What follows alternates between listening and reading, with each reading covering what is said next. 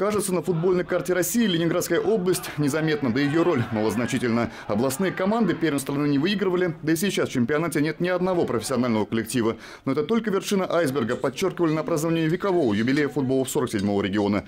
Да и присутствие самых высоких гостей показывало значимость торжества. Новоизбранный президент Российского футбольного союза Николай Толстых уверял, показатели развития футбола в области – это массовый спорт, а таких соревнований в год проходят десятки. То, что сегодня делается в Ленинградской области, Ленинградской областной федерации футбола заслуживает всякой, всяческой поддержки и приветствуется нами. Сейчас при упоминании футбола Ленинградской области на ум приходят две фамилии – Александр Киржаков и Владимир Быстров. Первый воспитанник Кингисеппского футбола, второй – Лужского. Это визитная карточка областного футбола сегодня. Но мало кто помнит, что в 70-х на областных полях за Волховский «Металлург» играл Николай Ларионов.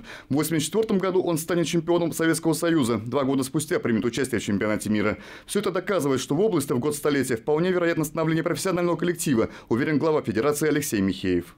В Ленинградской области профессиональная команда уже есть, просто она находится на стадии своего становления, и мы надеемся, что команда будет на 100% сформирована из выходцев из Ленинградской области и из Санкт-Петербурга. Уже сейчас костяк будущего профессионального коллектива формируется во внутренних соревнованиях. Победители турнира на торжестве отметили кубками и медалями. Сама будущая команда играет в любительском всероссийском турнире и претендует на выход в коллективу второй лиги. А это первый шаг по возрождению всего областного футбола. Пока остающегося заметным в российском масштабе, пусть яркими, но отдельными звездами.